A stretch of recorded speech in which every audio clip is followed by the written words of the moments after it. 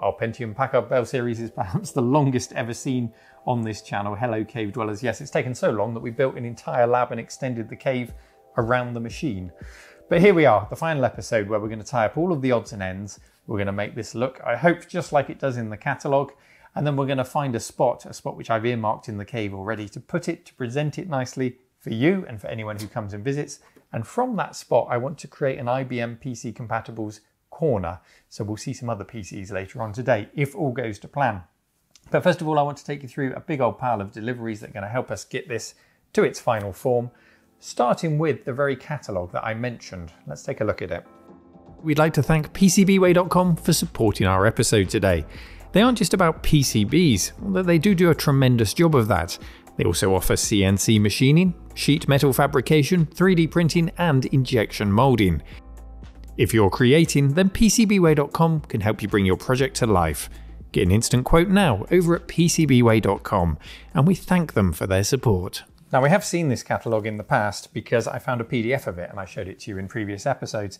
So when it came up on eBay, I just had to buy it. I think I spent less than £5 on it, but that's still an obscene amount of money for such a skinny pamphlet. But I thought it would be a really nice thing to have next to the machine for visitors to look at, flick through, see what software was included, see what the um, the feel and the buzzwords of the day were. So this is very much focused on surfing the internet with the included modem. Start surfing the internet from the comfort of your home and Packard Bell's welcome present, the first month's free subscription with 10 hours free access on CompuServe in America Online, excluding telephone dial-up costs. I'm not sure how long uh, 20 hours of free access would last me these days, but multimedia and internet access was all the rage at this time.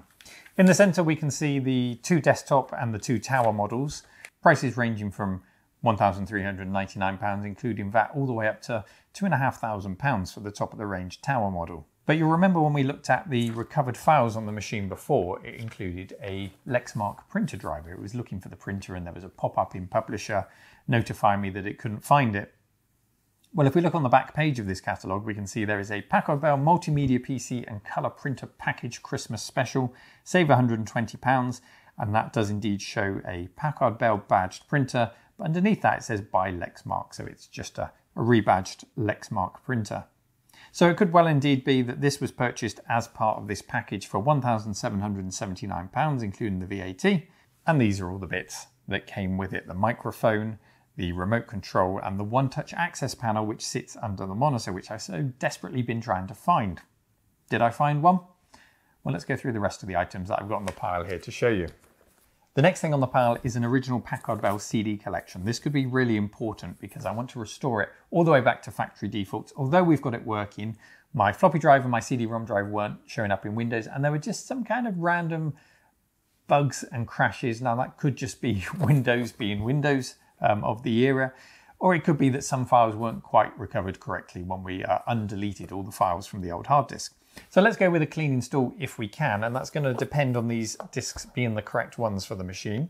We've got the master CD there, but we've also got included that £1,000 package of software that's advertised in the magazine. So that includes such things as an electronic library, uh, there is a Windows 95 standalone disk there. I'm not sure if that would have been included originally as well as the master CD. I guess it must have been. And then we've got Packard Bell branded discs for Civilization 2, CivNet, so a few games on there. Comix Zone and Ecco the Dolphin, so a couple of Sega games there. The Adventures of Batman and Robin Cartoon Maker. I'll just let you look through these as I lay them out on the table. Corel Word Perfect, Michelangelo Demo, Student Reference Library, and Microsoft Oceans. So that's your £1,000 worth of bundled software. It doesn't look quite as impressive when it's not shown in all the big boxes as it shows it in the catalogue. It's just a pile of discs. But if you got this on Christmas Day or whenever you got your Packard Bell, it would have kept you busy for a while. Whether or not you wanted to learn French with Asterix, you would have given it a go just to see video uh, streaming from CD and all of the other multimedia capabilities that your machine might have had.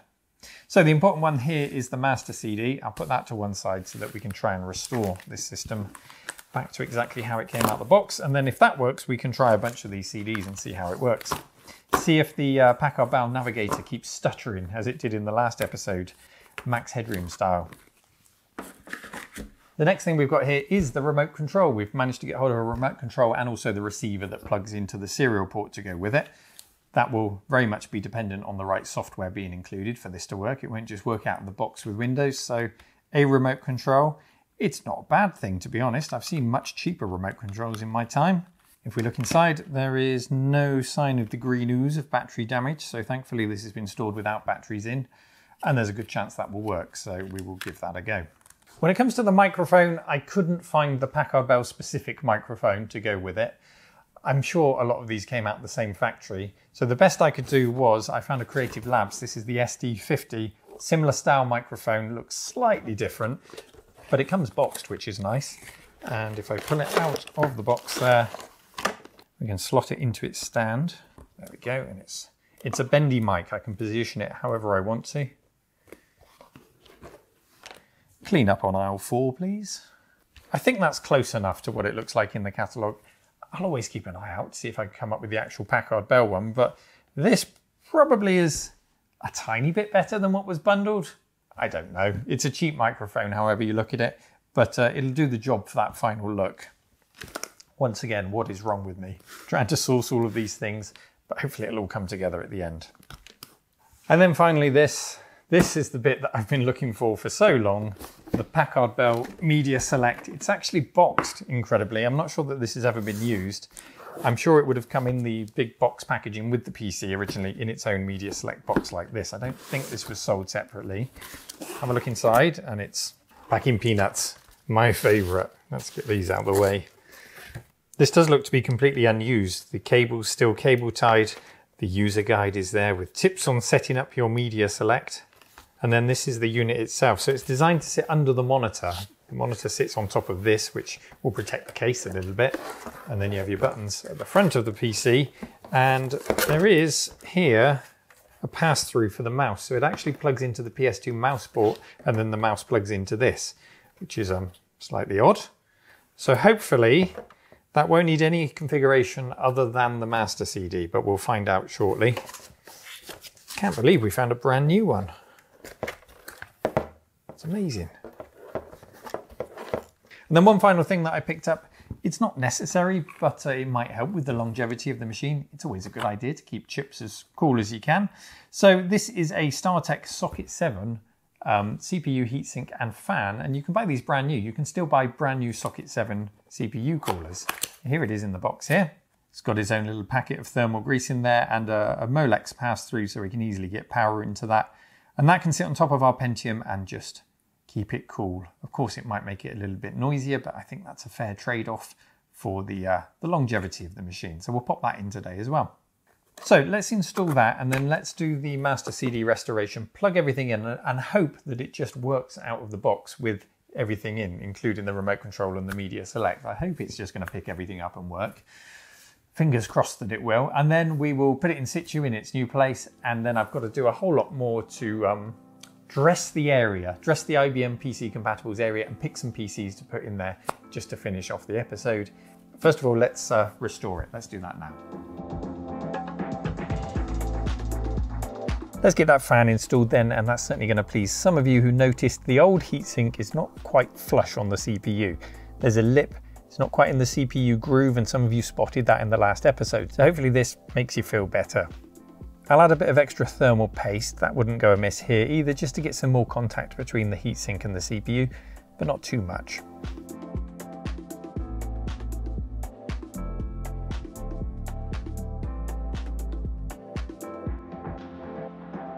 So that's our heatsink and fan in, and I've connected that up to the power. But when I put the sound and modem card back in, I noticed that the clearance above the fan is quite tight. It's not ideal having air blast straight into the card above it. But it should be fine because there's a front fan on the case here, so that's drawing air in and immediately pushing the air away from that top of that CPU fan. It all then feeds out to the PSU fan and out the back of the case. So I'll keep an eye on it, but I think this is going to be fine. It's nice having the original sound card and modem in there, but I could always swap it out for a smaller one if it becomes a problem at a later date. Let's put that all back together now and put the lid on. And now I can take the Packard Bell over to its new home on the other side of the lab here. Let's put all these bits together now. So here's the media select unit. We plug the mouse into that, we pop it on top of the case, and I did notice that it's quite slidey on top of the case, even with the weight of a monitor on it. Might be worth adding some rubber feet or a mat underneath this. I'll keep an eye on it.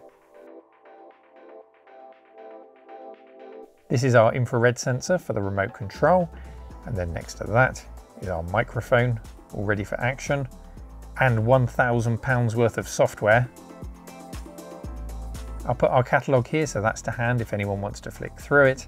And I think when you step back, it all makes for a really inviting mid-90s PC to test drive, just as soon as I've got it working properly. So that's the next job.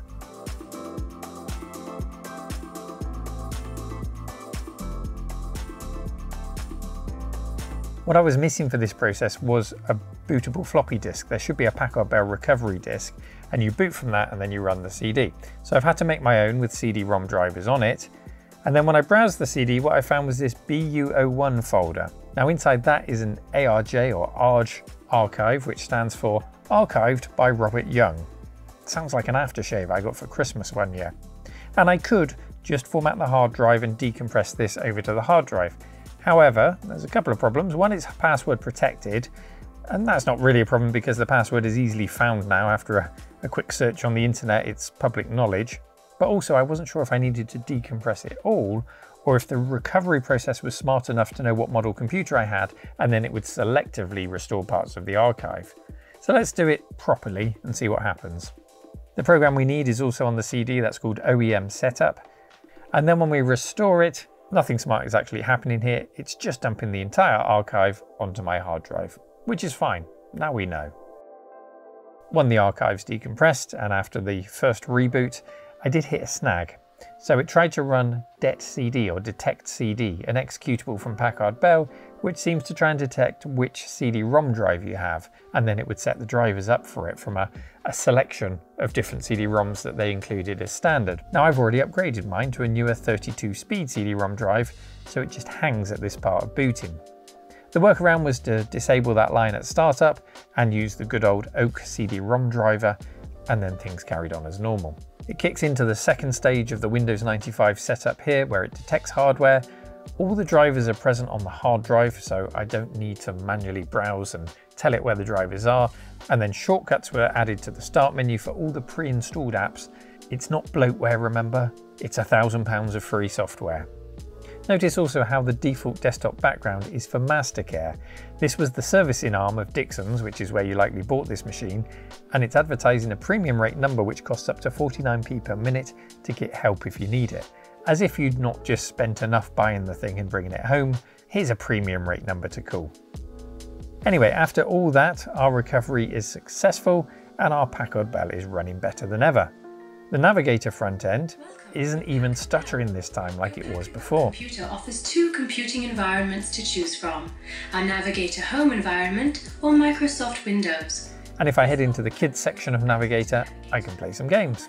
Hello and welcome to KidSpace. This is the fun place to work and play. Keep your software in the bookcase. Put all your games and stuff on the shelves. Navigator isn't so bad on this machine, but it is helped by the huge RAM upgrade we gave it in the last episode to 48 megabytes. Even the top of the range model only had half that on launch, so this is as it was meant to be, but not necessarily the experience we actually had using Packard Bell's custom Windows front end navigator. It's massively helped by the additional RAM. Anyway, I had a poke around,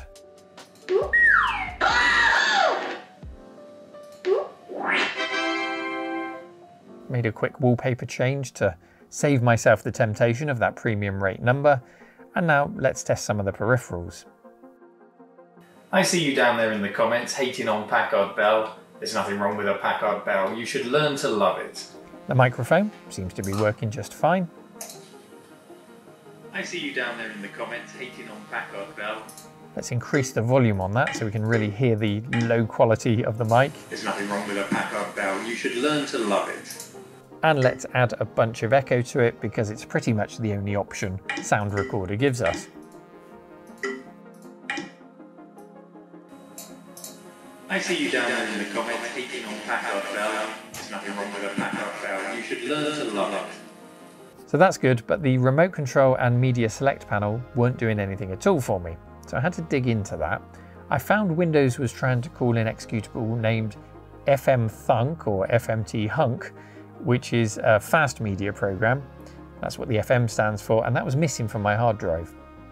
Thankfully, the Master CD also has a menu to install individual components in Windows, and I found Fast Media was on the list. So I ran through that. I noticed also on the list was DirectX. Uh, that would be version 2. We're now all the way up to version 12, so that's quite an early version of DirectX here in 1996. So after all of that, my Media Select now works. I can speed down my friends using the panel via the modem and use the microphone to talk to them. or I could if I had an analog landline here, and I can check voicemails, which would be saved on the hard drive. You have zero new messages. You have zero old messages. I can turn the FM radio on, I can adjust the volume, I can do all sorts of things with this panel. And it's the kind of thing that we'd later see built into keyboards. Some of these buttons would appear at the top of keyboards around this era as well, but I kind of like having them on separate buttons under the monitor. Sadly, the remote control still wouldn't work. I spent quite a lot of time trying to figure this out. I've come up short frustratingly, even though it seems to use the same drivers as the Media Connect. So I will keep trying, but we'll push on today. The remote control has eluded us. What each button does on the Media Connect can be easily customized with a registry entry, which is handy. So one change I made was I mapped the Internet button to Internet Explorer instead of AOL, which it was defaulting to. Let's try some of those CDs now. Ecco the Dolphin, I think this must be based on the Mega CD version with added FMV sequences and music. And uh, it's also mouse controlled, which is novel, but it does work strangely well.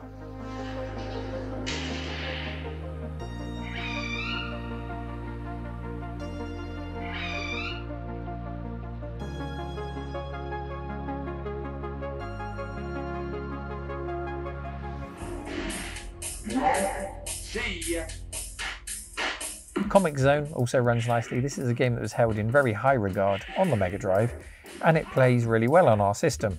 A system that cost over 10 times the price of a Mega Drive, so it really should. But it's the reference CDs that really define this era of PCs. Get into grips with multimedia capabilities and mass storage on a CD, resulting in things such as this. Most people love lobsters for dinner. But if we want to keep catching them and eating them, we must protect them too. So our PC is now running really well, and I was enjoying trying out all of the bundled software. But soon, I wanted to give it a much more fitting setting for people to enjoy it in. It doesn't make sense to have this paired up with an Amiga 1000 or a PlayStation 2. I think those machines need to be out in the main museum space, and this needs to become a PC zone to really let it shine. So I need to clear it out I need to clear the shelves and I need to fill it up with PC related goodies from the era. Let's get to work.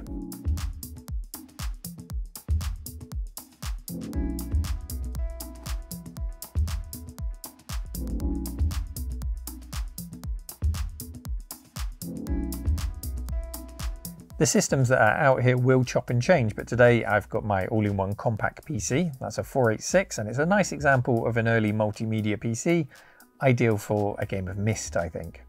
The IBM NetVista is a Pentium 4 running Windows 98. Some of you may remember that as part of a charity haul, I got about 20 of these, cleaned them up and sold them on for charity, and this is one I kept for myself. I also dug out the older 486 Packard Bell Executive, that's also appeared on the channel and was my first ever IBM PC compatible. I picked it up when I sold my Amiga in the early 90s. So this is an earlier generation of the very same Packard Bell we've just fixed up. Longer term, it would be really good to properly network all of these machines. On the shelves, whatever I can lay my hands on really to evoke memories of 90s PC use from Need for Speed to Encarta. I want people to feel the full force of nostalgia slap them in the face when they walk into this room, and these shelves really should help with that. So my question to you today, what would you put on these to achieve that? And is it any of these things that I'm putting up now?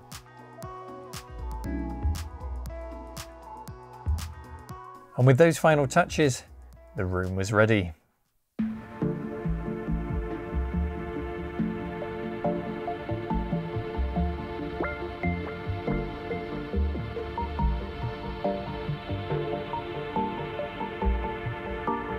Like every part of the cave, this too will evolve.